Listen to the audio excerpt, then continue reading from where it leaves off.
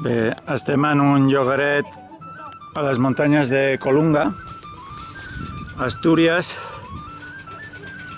en el moment d'instal·lació de, de plaques fotovoltaiques per un sistema d'autogeneració elèctrica. Tenemos unas placas, ¿no? Que nos producen electricidad, ¿no? Queremos que lleguen a unas baterías. Que esta batería nos sirva de almacén para guardar la electricidad que luego queremos usar en la casa, ¿no?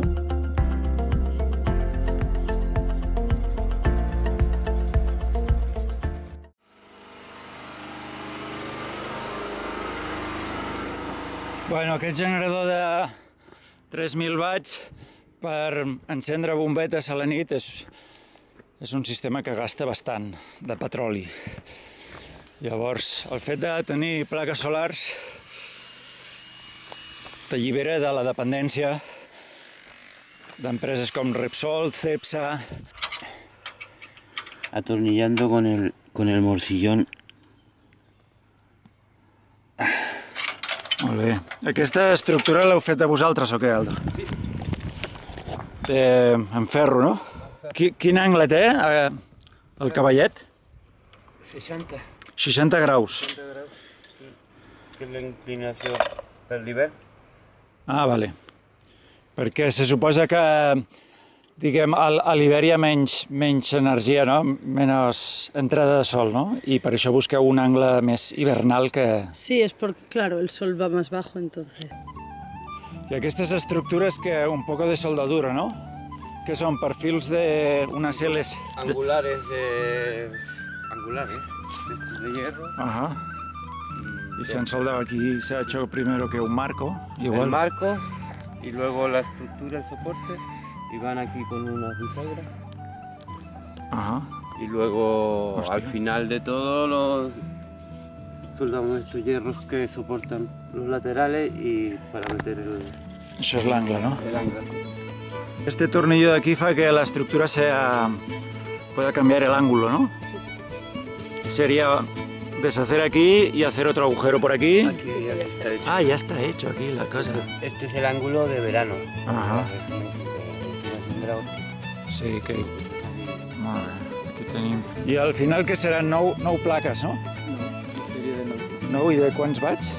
Son 3.000 en total casi. Joder, 3.000 watts de generació aquí.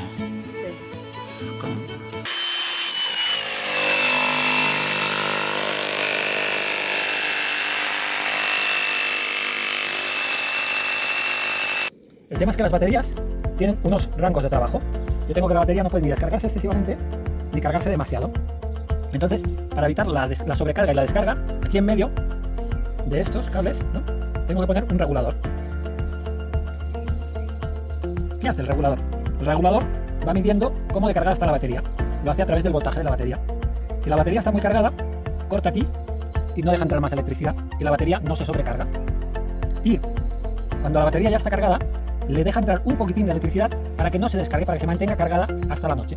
Estem fent el forat de les zapates per posar un petit encofradet de formigó que lligui aquests angles que li hem atornillat a l'interior. Això s'enterrarà de formigó i donarà suport a tota l'estructura. Eh, Ja hem fet el forat de les zapates per clavar els pilars que aguanten l'estructura i ara anem a, a col·locar el que serà l'encofrat.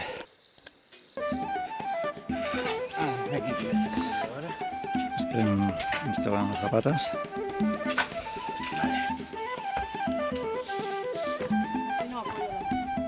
No pasa nada, porque luego lo regulamos en el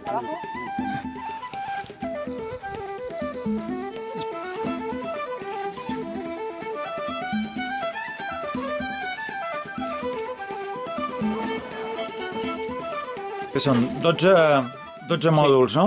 Sí, sí. Que en total, a, a què esteu? A 24 o a 2? 24, Ah, está en línea. Sí. 24 vols. De hecho, es la soldadora que es la que está modificada. Para... I això seria el que, el que fa de carregador regulador. Llavors, la... aquí estan entrant els en no sé quin voltatge, a 24, estan entrant per aquí, oh, i entren aquí els 24 volts. O sea, en el proceso de carga de una batería hay un primera- una primera fase que es la carga, en que toda la electricidad, toda, toda, toda, entra a la batería. Porque la batería está tan vacía que puede admitir toda la electricidad que le metemos. Hay un momento en que la batería está prácticamente llena, pero hay que cuidar- continuar llenándola con más cuidado, que es la fase de absorción. Entonces, una parte de la electricidad va a la batería y otra parte se evita que se va. Y finalmente hay un momento en que ya se da que la batería está cargada y se le deja una cantidad ínfima de, de electricidad, que es la fase de explotación. Al final del día ya no entra electricidad de los paneles y empezamos a usarla con el inverter y la batería se va descargando. Que va conectado con esta. Vale, vale, este es el regulador. De reguladores hay de dos tipos. Los hay que, digamos, sencillamente lo único que hacen es medir la electricidad que hay en la, la- el voltaje que hay en la batería y según eso dejan o no dejan pasar la electricidad. Y los hay de otro tipo que te permiten tener voltajes diferentes aquí y aquí. Esto que parece no tener ninguna importancia hace que el sistema sea mucho más eficiente. Son más caros, son los MPPT, pero un regulador MPPT te permite trabajar con, con placas, por ejemplo, de 50 voltios y baterías de 12 sin ningún problema. Llavors aquí entraria la carga per este enxufín i aquí ens marcaria el voltatge i l'amperatge. Aquest és l'invèrter. Inverter. El primer problema que surge es que los 12 voltios de la batería, 12, 24, 48, hay varias opciones. Cualquiera de estos voltajes no nos va bien en la casa, porque los aparatos que tenemos en la casa funcionan con 220 voltios de alterna. Y aquí tenemos 12 voltios de continua. Y aquí en medio hay que poner algo que haga la transformación de los 12 voltios a los 200 voltios. Este aparato es el inverter. Y aquí en medio tenemos un inverter. Que le entran nuestra continua y nos saca, ahora sí, los 220 que queríamos en alterna.